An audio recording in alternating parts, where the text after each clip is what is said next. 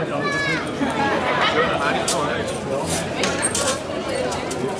là, il va